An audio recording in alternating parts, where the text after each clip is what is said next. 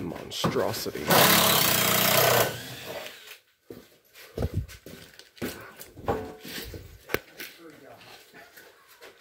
Tearing all this out, putting all new back in.